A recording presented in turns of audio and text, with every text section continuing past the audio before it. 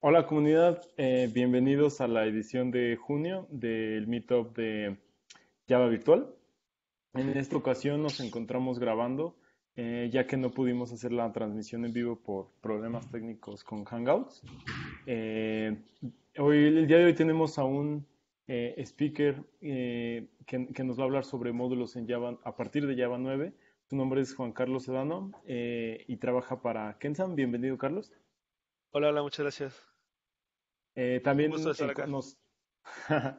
Igual, gracias. Este, también tenemos por parte de la comunidad de JBM MX a Domingo Suárez. Eh, muchas gracias por su apoyo, como siempre, Domingo. Hola, ¿qué tal? Buenas tardes a todos. Este, y pues bueno, vamos a, comenzar. Eh, Carlos, no sé si tengas algo que mencionar antes de, de, comenzar. Y si no, pues este, damos paso para tu, tu charla. Ok. Bueno, en esta plática vamos a hablar sobre la, plataforma de módulos de Java, que es algo que fue introducido en el JDK 9, eh, en Java 9. Y bueno, vamos a hablar un poquito sobre mí primero. Eh, soy un desarrollador de Java con poco más de siete años de experiencia. Aparte de Java, me gusta Unity, Objective-C, Swift, Python y bueno, Linux y Unix. Y actualmente, como dijo Chox, me encuentro trabajando en Kensan. Bueno, hablemos primero de qué es un módulo. Un módulo es una parte de un programa, ¿no? Tratamos de, escribir los programas en, pequeñas partes en lugar de escribir como algo muy grande. Así diferentes personas pueden trabajar en una pieza del rompecabezas eh, de forma separada, ¿no? Y no tener que estar esperando a que otro termine su chamba para que podamos seguir con la nuestra, ¿no? Y bueno, esto lo hemos podido hacer desde antes de, de la plataforma de módulos de Java, ¿no? Pero ¿cómo, realmente cómo lo hacíamos, ¿no? Pues bueno, agrupando paquetes, clases e interfaces, podríamos tener, por ejemplo, un paquete para el conector de base de datos, un paquete para nuestro servicio web, y con Maven y con Gradle podríamos crear artefactos, ¿no? Unos jars donde fuera un jar que, que, fuera el conector, ¿no? Entonces, lo único que necesitamos es importar esa dependencia, por ejemplo, en nuestro proyecto y utilizarla. Pero bueno, ¿Por qué, ¿Por qué se decidió cambiar a, ¿Por qué se decidió utilizar módulos ya en la plataforma de Java como tal? Bueno, eh, eso es una cita de Mark Reynolds, que es eh, el arquitecto en jefe de la, de la plataforma de Java, que decía, dijo en 2008 que un programa de línea de comando trivial como un Hola Mundo carga e inicializa cerca de 300 clases diferentes. Esto fue hace más de 10 años. O sea, ahorita si hacemos un Hola Mundo y lo hacemos sin módulos, pues vamos a estar cargando muchísimas más clases, ¿no? Y también una cosa que pasó fue que cada vez que necesitaban un pedazo de código que ya tenían en otro lado, lo que hacían para no reescribir el código era crear una dependencia con esa otra parte de, Java, ¿no? Entonces fueron creando como un monolito enorme que se necesitaba siempre cargar completo. Y bueno, platicaremos también cuál es la, ventaja de que ahora todo está ya con módulos. Ya no es, ya no es un modulito. El, el ya no es un monolito el JDK.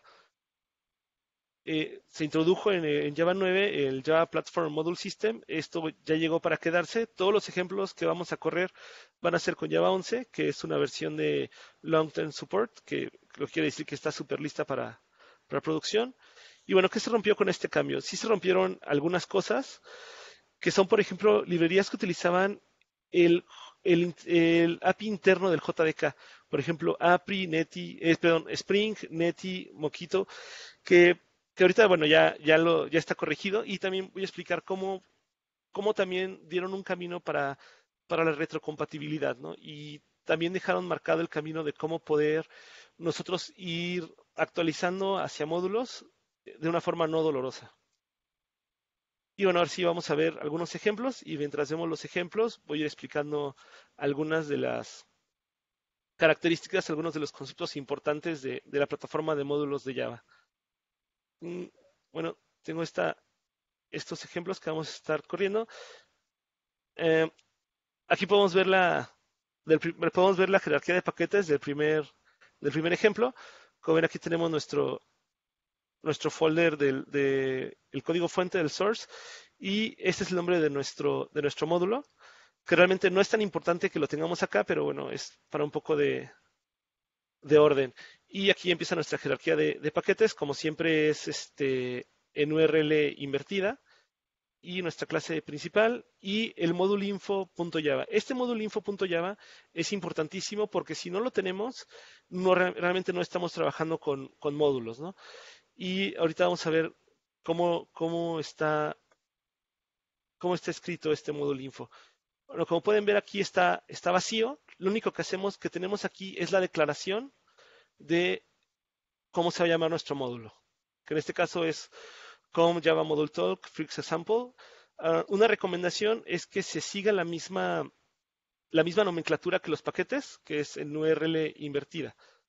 Y esta es nuestra clase, la única clase que tiene nuestro paquete, que es la clase que vamos, que vamos a correr. Y aquí, como se puede dar cuenta, es un, tiene solamente un main y lo único que hace es imprimir, hola módulos, este es mi primer módulo. Y vamos a imprimir aquí el nombre del módulo. Esto lo vamos a, compilar. Y bueno, primero lo vamos a hacer a mano para los primeros ejemplos y después vamos a, hacerlo con, Maven. Ah, primero voy a crear una, aquí un, directorio llamado mods, que ahí voy a, voy a guardar el, el este, nuestros compilados, ¿no? Y ahora sí vamos a compilarlo y Aquí primero estoy poniendo el, módulo info, tenemos que compilarlo pues todo junto para que lo podamos compilar bien como que se, bueno, que se compile tanto la información del módulo, que es el módulo info, como nuestra, como nuestra clase. Y aquí están las dos y le vamos a decir que queremos que lo, que lo guarde pues en esta, en esta carpetita.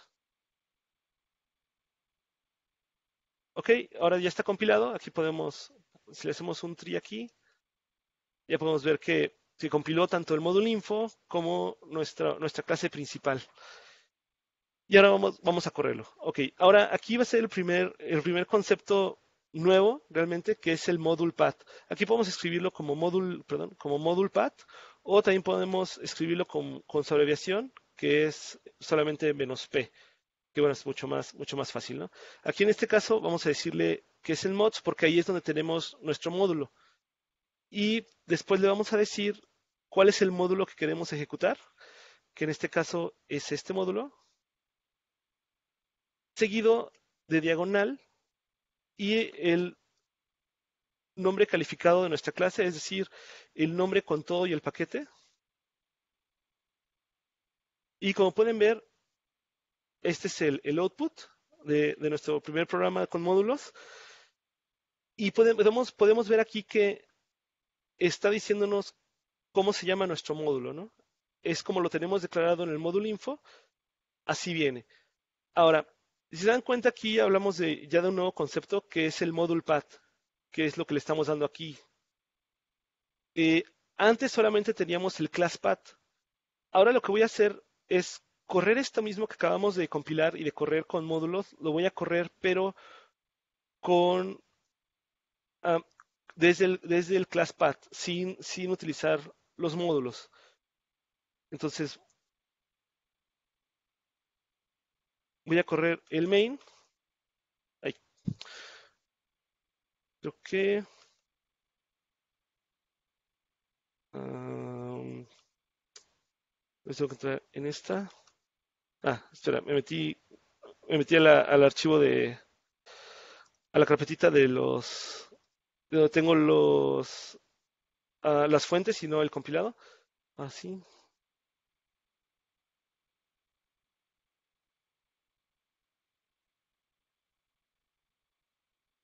Ok, ahora, ¿qué fue lo que pasó? Sí lo pudimos correr, pero esto es lo que nos está diciendo sobre nuestro módulo. Nos está diciendo que no tiene nombre. Esto es un concepto muy importante para la retrocompatibilidad. Cuando nosotros corremos un programa y no lo corremos desde un módulo, lo que va a hacer con nuestro programa Java, lo que va a hacer con nuestro, con nuestro punto de entrada, es crear un módulo sin nombre. Y este módulo sin nombre va a requerir todo y va a exportar todo. Ahorita es, eso, esas dos palabras, eh, la de require y open, las vamos, y, y exports, las vamos a ver en los siguientes ejemplos pero solamente quiero que, quiero mostrarles que cuando estamos corriéndolo desde el ClassPath, nos está creando este módulo sin nombre.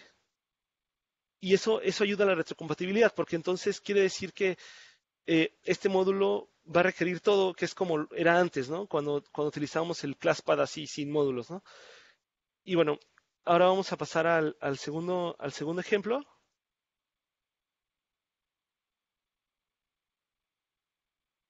Que este, este ejemplo es con dos módulos. Aquí igual lo primero que voy a hacer va a ser mostrarles la, la jerarquía que tenemos. Eh, aquí podemos ver cómo tengo los, los, dos módulos. Uno se va a llamar message, bueno, se va a llamar com, com Java Module Message y el otro es uh, com Java Module Printer. Y ahorita vamos a ver lo que, lo que tienen adentro los dos, rápidamente. Bueno, primero vamos a ver el de message. Podemos ver en el módulo info que está exportando este paquete. Esa es la primera palabra clave que estamos viendo en la declaración de módulos. Esto quiere decir que este paquete va a ser visible para los demás. Si no tuviéramos esto, no podríamos leer desde otro módulo este paquete. Y en el otro módulo que vamos a estar compilando, tenemos este módulo info. Ese es el de printer y este requiere de, del otro módulo. Es decir, uno lo está exportando, otros lo van a poder ver, y el otro que lo necesita, tenemos que utilizar la palabra requires. Y vamos a ver eh, rápidamente el código de estos dos.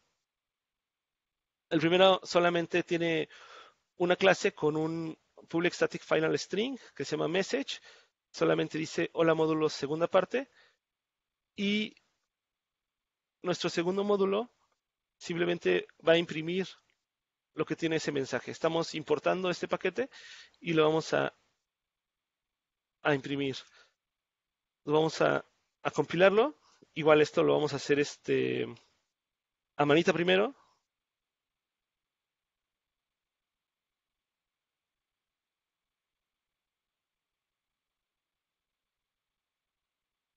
Vamos a crear los, vamos a crear de una vez las dos que necesitamos que es, uno es el printer y otro es el, el de message. Eso solamente para poder guardar ahí las, lo, los archivos ya compilados. Y bueno, vamos a compilarlo uh, igual como compilamos la vez anterior. Vamos a imprimir primero aquí. Tenemos primero que compilar el de mensaje, porque el de printer necesita de este, de este módulo. Entonces vamos a primero a, a compilar este.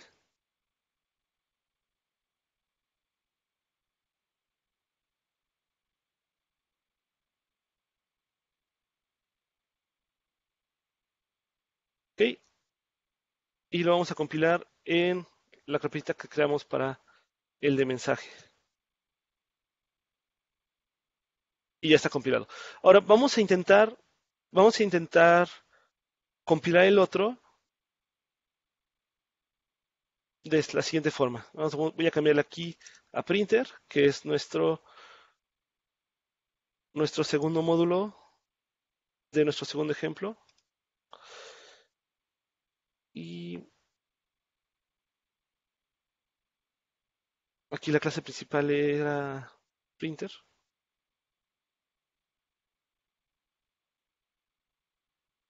Y también esto tenemos que cambiar aquí, ¿no? Entonces todo se ve, todo se ve correcto.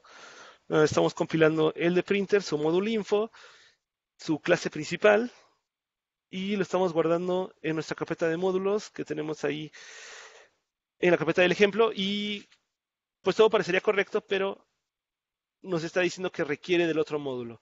¿Qué fue lo que pasó? Sí, sí compilamos el módulo anterior, pero no lo estamos metiendo en el pad de módulos. Entonces no, no sabe que existe, ¿no? Tenemos que, proveerlo. Y como ya habíamos visto, solamente para, para el pad de módulos necesitamos ponerle menos P. O si no lo queremos abreviar, sería guion guion module pad. Y en este caso está en mods. Y ahora lo pudo, lo pudo, lo pudo compilar correctamente. Ahora vamos a correr, vamos a correr nuestro programa. Eh, igual tenemos que decirle dónde están nuestros módulos y tenemos que decirle qué módulo vamos a correr, que en este caso vamos a estar corriendo el de printer, esto seguido de diagonal y el nombre calificado de la clase. Como pueden ver, lo pudimos correr correctamente. Ahora, ya que estamos hablando de que necesitamos eh, nuestro pad de módulos, vamos a tomar un tiempo aquí para ver qué módulos tenemos disponibles de por sí. Aquí tenemos una, una, una utilería que se llama List Modules, que si le damos, si lo utilizamos, vamos a poder ver los módulos que nos está proveyendo el JDK. Ahí como pueden ver son, son bastantes. Y si quisiéramos ir un poco más lejos y traer más información de esto, podemos, por ejemplo, podemos elegir uno de estos y vamos a decirle que nos describa ese módulo con describe module y el nombre del módulo.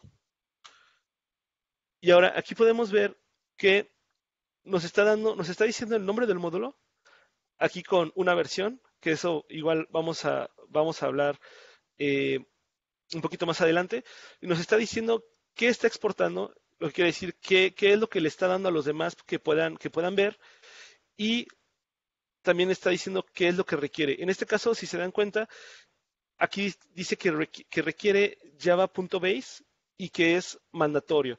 El java.base es como si fuera el object de nuestros módulos. El java.base lo vamos a necesitar siempre. Y no importa que no lo declaremos en nuestro módulo info, siempre va a ser requerido. Aquí incluso también podríamos, eh, como forma de, práctica, podríamos incluir aquí nuestro pad de módulos. Aquí lo estamos incluyendo y podríamos decir que nos describiera uno de nuestros módulos. En este caso vamos a elegir uh, al de printer. Aquí igual, como seguimos la convención de que se llamara igual que, nuestro, que nuestros paquetes, pues ese es el nombre. Y aquí nos está diciendo la misma información, ¿no? Nos está diciendo cómo se llama. Aquí incluso nos dice dónde está el archivo. Tiene este requires del Java Base, que si recuerdan, nunca se lo pusimos nosotros, ¿no? Ese es el de printer. Nosotros solamente le dijimos que requeríamos este de message. Y nos está diciendo que requiere ese de message y aquí también nos está diciendo que contiene este. Contiene este paquete. ¿Ok? Entonces ahora sí vamos a pasar al, a nuestro tercer ejemplo. Y en este caso igual vamos a ver la jerarquía de módulos. Eh, este se va a llamar uh, com Java Module Talk UI Message. y vamos a ver qué es lo que contiene. Este es nuestro módulo info.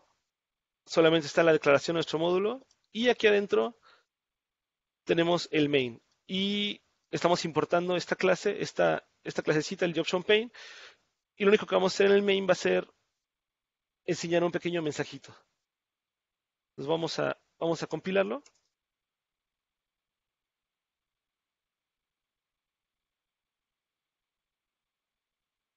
Aquí creo que puedo, creo que puedo crear la, la carpeta de, de módulos al vuelo. Con el menos D. Y vamos a decirle el nombre de nuestro módulo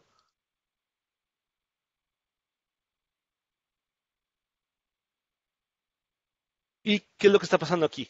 Nos salió un mensaje de error.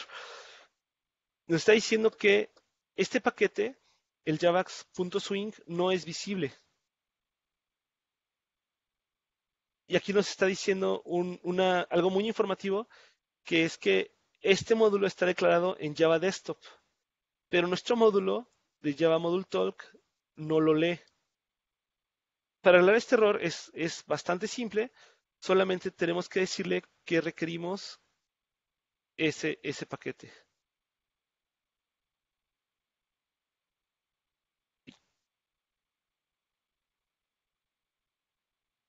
Ese, ese módulo, perdón, de Java Desktop. Yo no recuerdo si tiene que llevar. Sí le decimos que lo requerimos y con eso debería de ser suficiente para que compilara nuestro programa sin problemas. Y lo compila y ahora solamente eh, vamos a correrlo igual menos P para decirle dónde están nuestros, módulos y el módulo que vamos a correr, que en este caso es este de UIMessage, seguido de la clase calificada, que es main.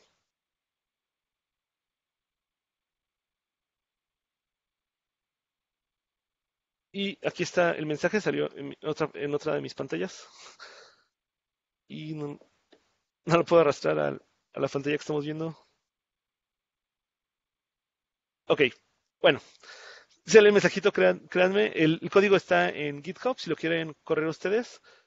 Vamos a avanzar con, el, con nuestro cuarto ejemplo, que es ya utilizando Maven. Igual voy a mostrar primero qué es lo que tenemos aquí.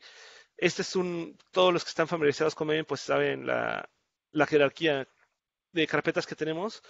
Eh, hasta adelante tenemos nuestro POM, el source, main, Java y luego nuestros paquetes.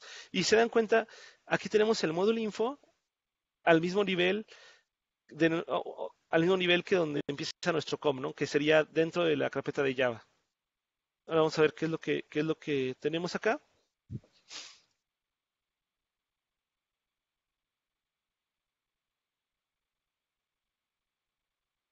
Y en este caso, otra vez estamos haciendo un job champagne. Ahorita voy a ver si podemos sí, sí lo puedo arrastrar a la pantalla para que lo veamos. Y este, y en el módulo info, igual tenemos, tenemos este, solamente la declaración del módulo. Y si han estado prestando atención, se darán cuenta que va a pasar algo aquí. Estamos en el correcto, sí. Vamos a correr un clean package.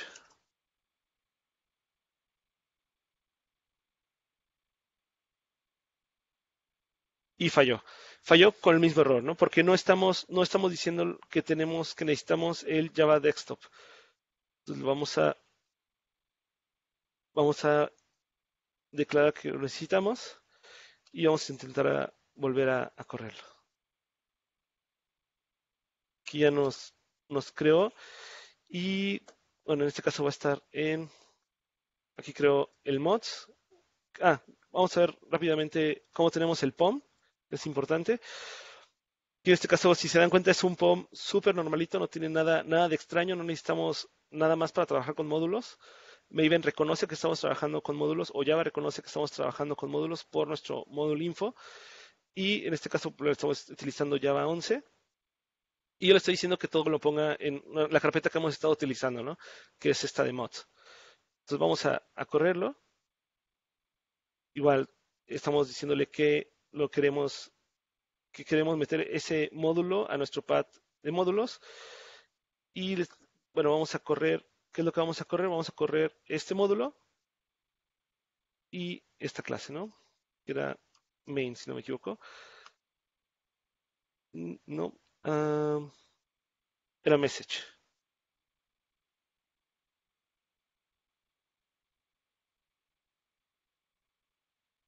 A ver, Voy a cambiar primero a esta y ahora sí voy a tratar de Aquí está. Aquí está el mensajito del Job Champagne que dice hola desde el cuarto ejemplo. Bueno, ahora vamos a ver los multimódulos, pero con Maven. Aquí primero les voy a enseñar, les voy a enseñar la jerarquía de, una vez desde el Atom. Este es nuestro POM principal, el, parent POM, que está declarando dos módulos. ¿no? Esto también eh, es algo súper normal que que ya se hacía, ¿no? Desde mucho antes de que lo de los módulos, la plataforma de módulos de Java fuera pública, ¿no? Aquí estamos declarando que tenemos estos dos, que en realidad aquí dice que son módulos, pero bueno, para, para Maven son artefactos. Este data y este QI. Y bueno, aquí tenemos lo mismo, ¿no? Le estamos diciendo que guarde todo en mods. Y si nos metemos aquí al data, aquí vamos a ver su módulo info, que dice que está exportando este, es decir, lo está haciendo visible para los demás.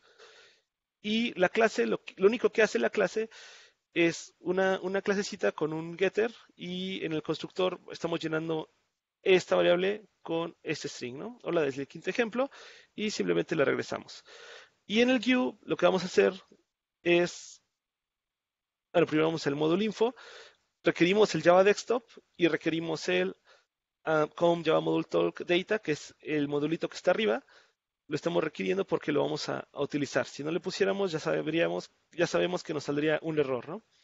Y en este caso igual estamos imprimiendo lo que tiene esta clase, ¿no? Creamos un nuevo objeto data, que es el que está en el otro módulo, y lo ponemos en un job pin. Vamos a correrlo. Vamos a compilarlo, perdón.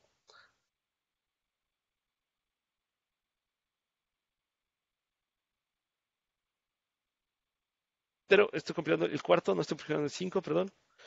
Ahora sí.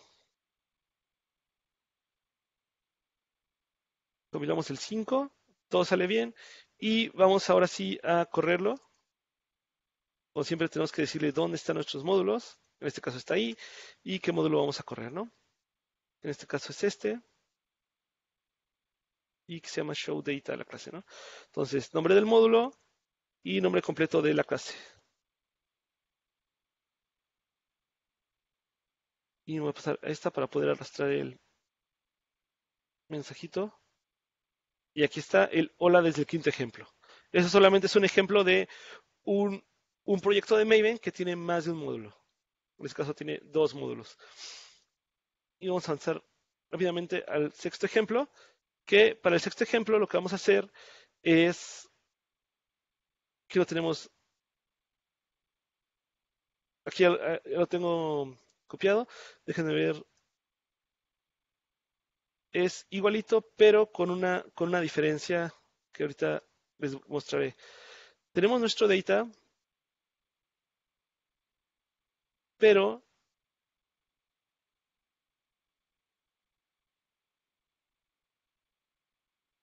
Ok, no tenemos aquí las, las clases. Tengo que, mejor lo voy, a, lo voy a copiar.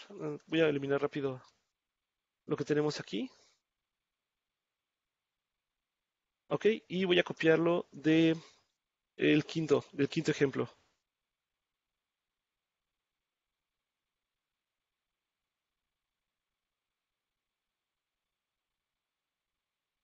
Eso debería de... Ok, y ahora vamos a hacer, vamos a hacer algo diferente. Voy a eliminar, voy a eliminar la declaración del módulo de data. Estos son exactamente los mismos módulos de hace rato, pero yo voy a eliminar el módulo info. Y no voy a cambiar nada más. vamos a tratar de compilar.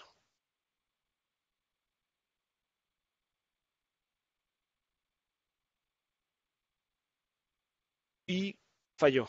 Falló. Nos está diciendo que no encuentra este módulo, lo cual es totalmente correcto porque nosotros no, no creamos un módulo, ¿no? no le pusimos módulo info. Ok, ¿Qué es lo que podemos hacer? Muchas veces vamos a trabajar, a lo mejor ya estamos migrando módulos y tenemos partes de nuestro proyecto o estamos utilizando dependencias que todavía no eh, están hechas como módulos, ¿no? No tienen este módulo info. ¿Qué, ¿Qué, es lo que podemos hacer en ese caso para utilizarlas? Bueno, vamos a ver aquí que eh, aunque no pudo compilar la, la, de UI, sí pudo compilar la primera, ¿no? Porque esa no tenía ninguna dependencia. Bueno, aquí están las dos. Déjame borrar aquí nada más la de UI que es otra corrida que hice. Bueno, ahí está el data, pero este no es, no es un módulo, ¿no? Realmente no es un módulo. ¿Cómo podemos saber cómo llamarle, ¿no? Si no, si no tiene la declaración de módulo. Bueno, aquí viene otro concepto importante que es el que aparte de los módulos sin nombre, es el concepto que nos va a ayudar a, ir migrando poco a poco a módulos y que nos va a ayudar a conservar la retrocompatibilidad, que son los módulos automáticos. Entonces, cuando nosotros metemos un jar a nuestro pad de módulos y ese jar no contenga el módulo info, Java automáticamente le va a dar un nombre. ¿Cuál va a ser ese nombre? Casi siempre va a ser el nombre del el jar sin la parte de la versión. Solamente el nombre del jar. Pero para estar seguros, hay una cosa que podemos hacer acá, que es utilizar jar, le ponemos file y le decimos cuál es nuestro jar y aquí le decimos que nos describa el módulo que tiene. Ahora, ¿qué es lo que va a pasar? No tiene módulo info, pero está creando un módulo automático. Y se dan cuenta que incluso nos está diciendo, no tiene, no módulo descriptor found, no encontró ningún descriptor del módulo, pero está creando un módulo automático. Que bueno, se va a llamar data. Esta es la versión. Como si, si lo recuerdan, los demás módulos también tienen versión, pero de eso vamos a hablar un poquitito más adelante. eh, como siempre requiere este, requiere el, Java Base y nos está diciendo qué es lo que contiene, que en este caso contiene el module talk.data. Ahora, ahora que ya sabemos cómo se llama ese módulo, vamos a copiar ese nombre y lo vamos a utilizar para nuestra declaración del nuestro módulo del UI. Ya no existe este módulo, pues existe solamente data. Vamos a, a volver a, a compilar.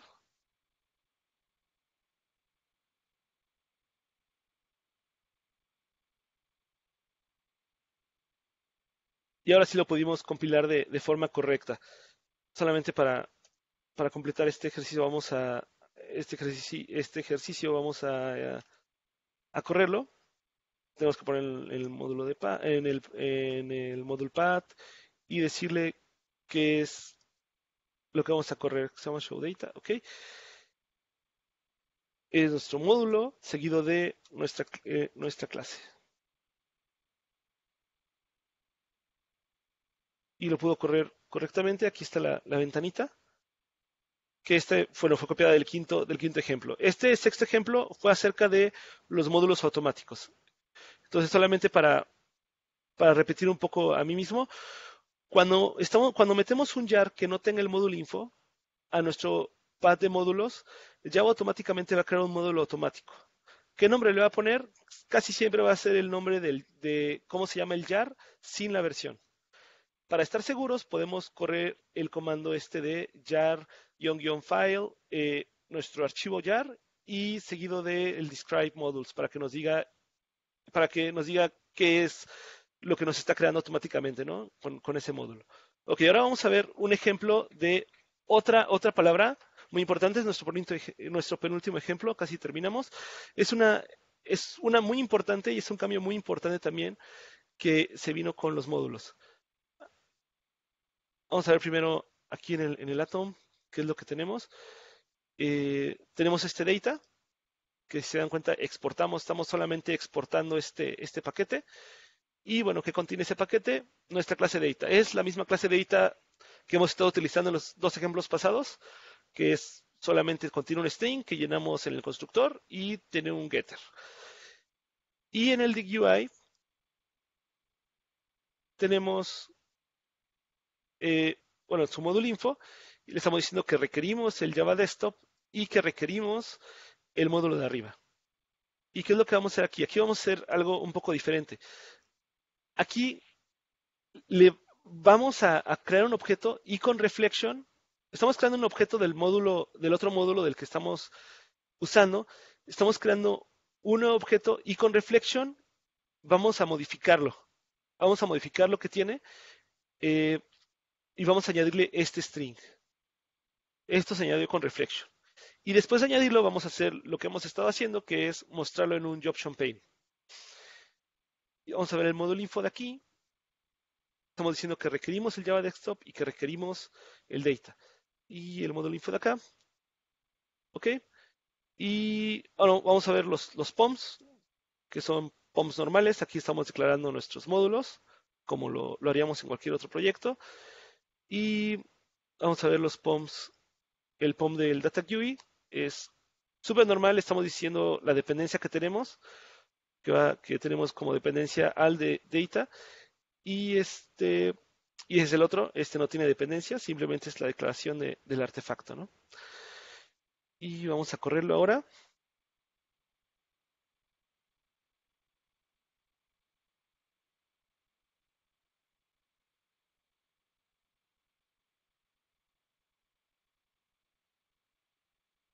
Ok, pudimos, pudimos perdón, pudimos compilarlo de forma correcta, no hubo ninguna, no hubo ningún error ahí. Vamos a ver qué pasa si lo corremos. Metemos a nuestro pad de módulos y vamos a correr el de show data, que es el que hemos estado corriendo siempre, nombre del módulo. Nombre del módulo, diagonal, nombre completo de la clase.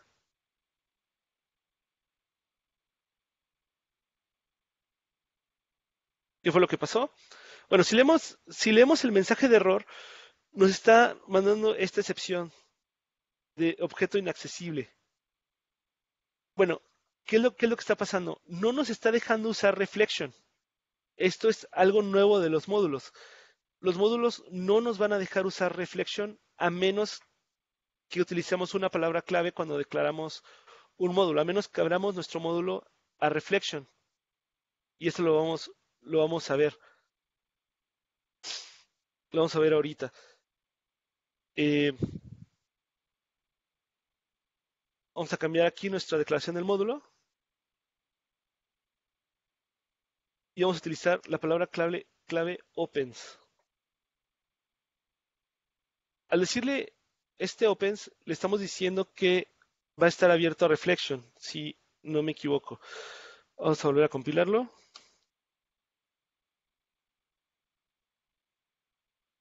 Ok, no, eh, no hay el opens. Ah, ah, un momentito.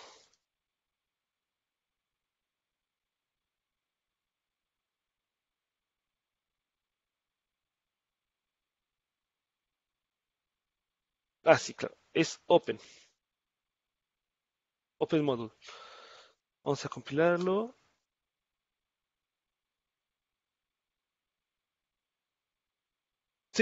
Entonces, aquí, como lo estamos declarando hasta arriba, le estamos diciendo que todo lo que estamos exportando en este módulo va a estar abierto a Reflection.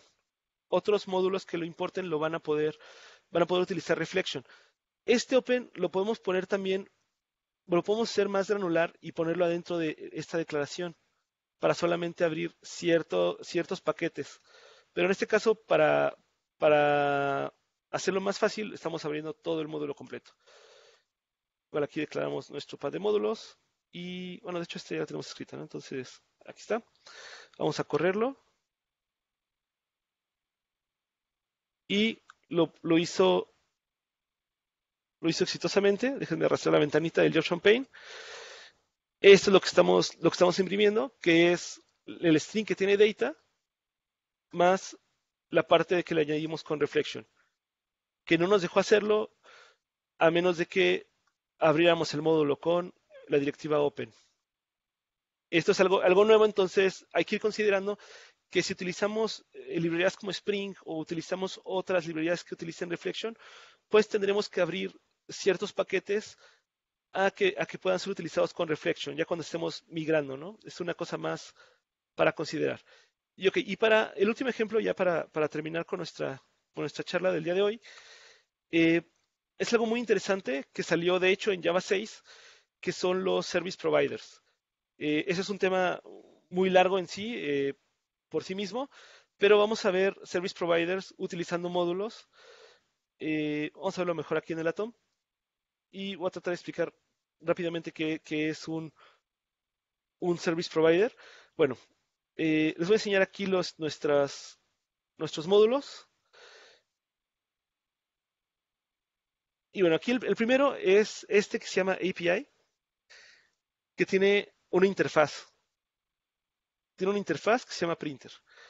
Y lo único que hace esa interfaz es que tiene un, un método que se llama print. Eso es, eso es todo. Y aquí tenemos otro módulo que se llama Service One,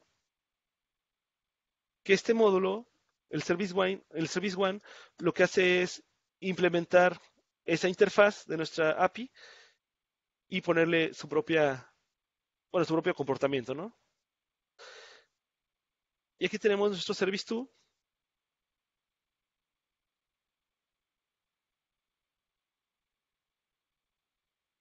que es otra implementación de printer, que en este caso, nuestra primera implementación lo único que hace es imprimir eh, en la línea de comandos eh, en letras mayúsculas cualquier cosa que le pongamos. Y lo que hace el otro es imprimir primero la fecha y luego, bueno, una, dos puntitos y luego el string.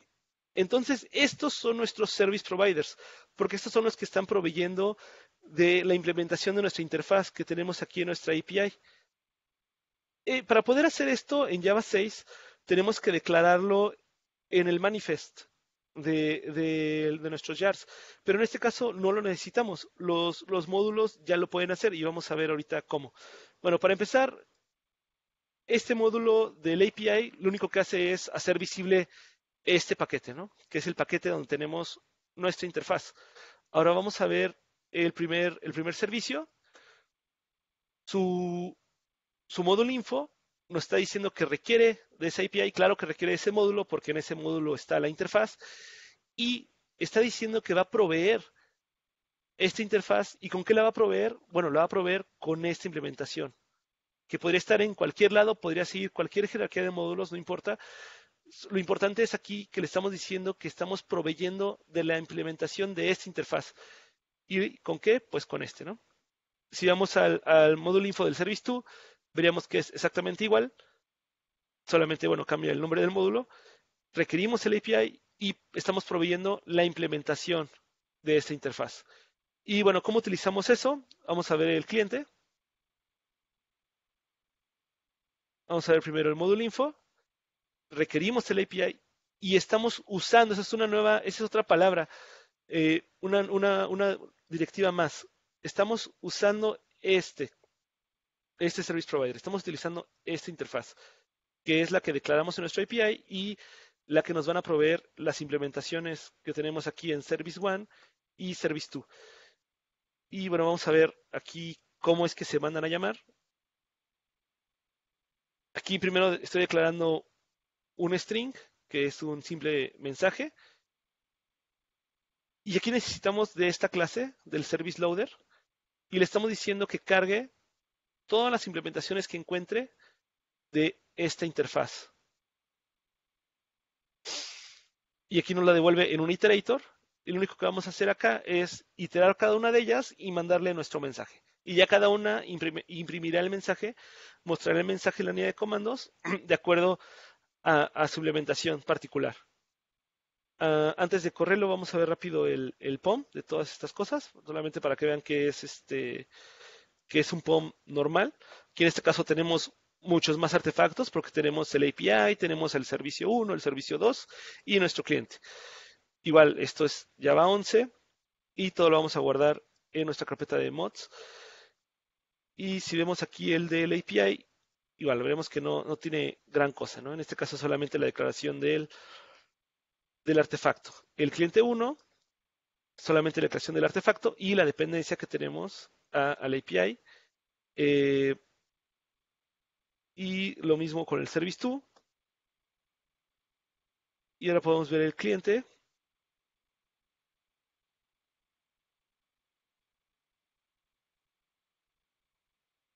Donde el cliente no necesita tener ninguna dependencia más que la del API. Si se dan cuenta, aquí el cliente no tiene dependencia a ninguno de los dos, a ninguna de las dos implementaciones de, ese, servicio, ¿no?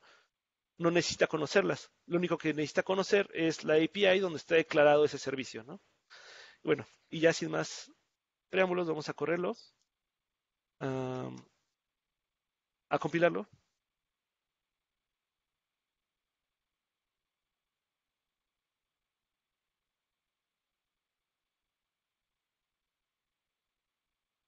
Y ahora sí vamos a correrlo. y que vamos a estar corriendo nuestro cliente, ¿verdad? Que es este que está aquí. Como siempre, es nuestro módulo diagonal, el nombre completo de nuestra clase. En este caso se llama main. Y como pueden ver, encontró las dos implementaciones, encontró nuestros dos service providers, ¿no? Uno, que es el que nos pone la fecha antes del string que le estamos dando, ese es el string que le dimos. Y el otro que transforma el string a todo, a todo uppercase, ¿no? A todo, todas mayúsculas. Y bueno, realmente módulos es, es un tema súper, súper vasto. Eh, se han escrito libros completos solamente de módulos. Pero bueno, yo quería darles este, este overview con, con las cosas más, más básicas, ¿no? Eh, la, la granularidad puede ser muchísimo más fina podemos decirle incluso que vamos a exportar un módulo solamente a cierto módulo. Eso, eso lo podemos hacer. Y, bueno, tiene muchas opciones bastante interesantes, ¿no? Que no, que, no podríamos ver eh, en este espacio. Y bueno, ya solamente para terminar, vamos a ver las conclusiones. Bueno, Eh, el JDK en Java 9 fue organizado para utilizar módulos. A pesar de que la plataforma de módulos ya es totalmente funcional, todavía podemos utilizar el ClassPath. Es decir, podemos seguir programando como lo hemos hecho toda la vida. O sea, no, realmente no, eso no cambia. Podemos seguir programando como siempre.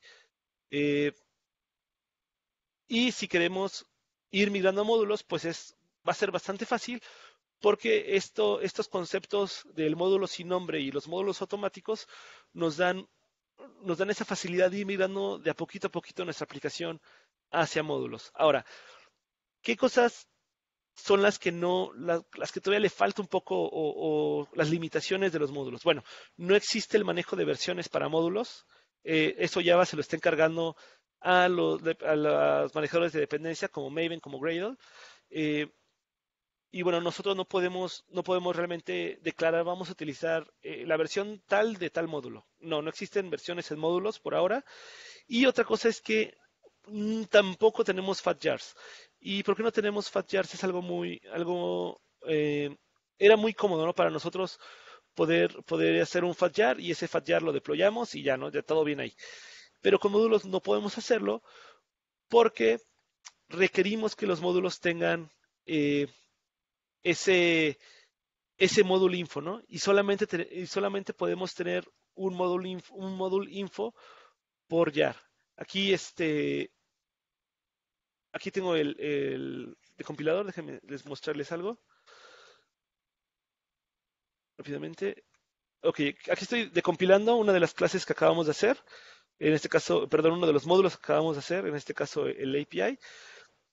Y como pueden ver, bueno, aquí está nuestro, todo lo que le metimos. Y al principio del jar está nuestro módulo info, que es la única, el único lugar donde podemos tener eh, esa declaración, ese descriptor de los módulos, que es en la raíz del jar. Y como solamente hay una sola raíz del jar y solamente un módulo info, pues solamente podemos tener un módulo por jar. Así que por ahora no hay fat jars en los, para los módulos.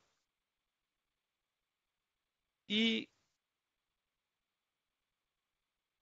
Ah, y también quería, comentarles otra cosa que, este, que igual sale, sale fuera del scope de esta, de esta plática, pero como, como, como los developers de Java se dieron a la tarea de modularizar todo el JDK, eh, ahora tenemos un JLinker que nos permite crear versiones más pequeñas de la máquina virtual con solamente los paquetes de la JDK que necesitemos. Es decir, si tú vas a hacer un, paquete con Java Swing y no vas a necesitar nada de base de datos, no vas a necesitar nada de esto, tú puedes customizar tu, tu, máquina virtual para solamente tener lo que vas a correr.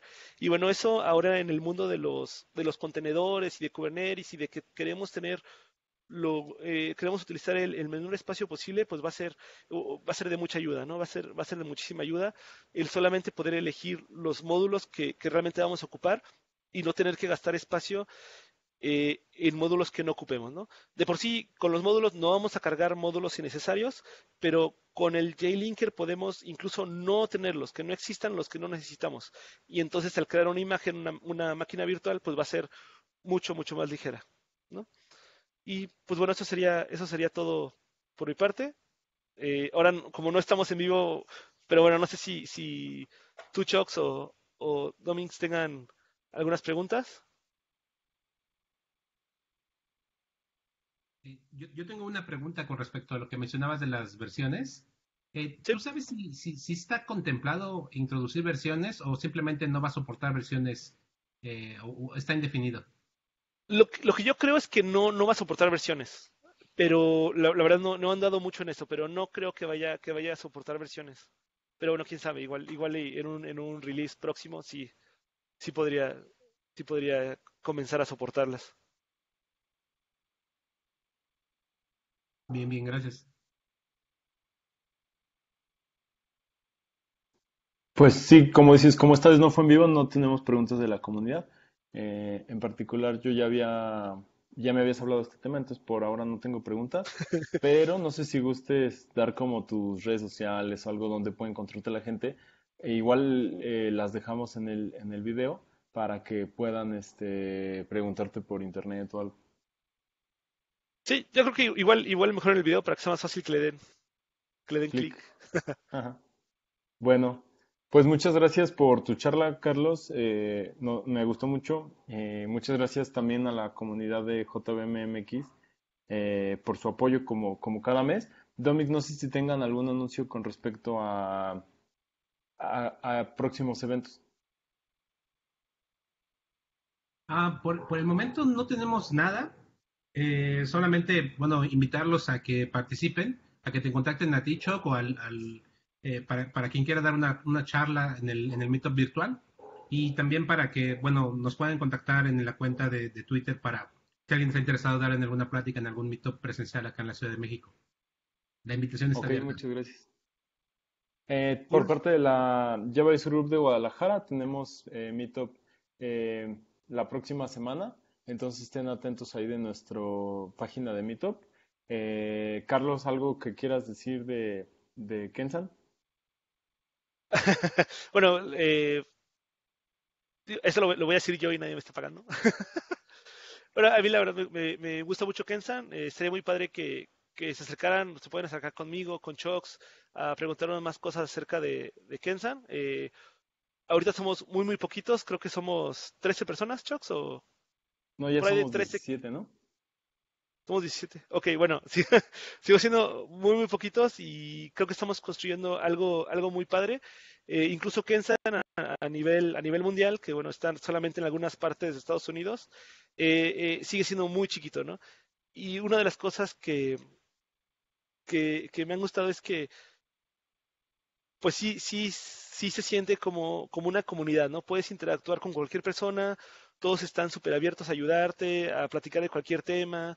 Eh, bueno, tú conoces nuestro Slack, ¿no, Chox? O sea, tenemos, tenemos grupos de Go, tenemos grupos de memes, tenemos grupos de, de, todo, ¿no? De noticias de Java, de noticias de Cloud.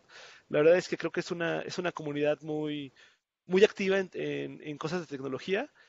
Y, y pues que, todos se esfuerzan en, aprender, ¿no? Y tenemos este, uno de los valores es el, compartir conocimiento.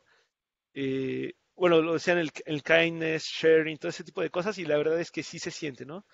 Sí, este, no solamente lo dicen, sino que sí lo practican cada día, ¿no? Y eso, eso la verdad para mí es una de las cosas que, que más me gustan. Muchas gracias, Carlos. Pues eh, ahí se pueden acercar con él o conmigo para, para saber un poco más. Eh, y pues bueno, damos por concluida la sesión de junio. Eh, de nuevo una disculpa porque no pudimos hacer live. Eh, tuvimos allí algunas complicaciones con los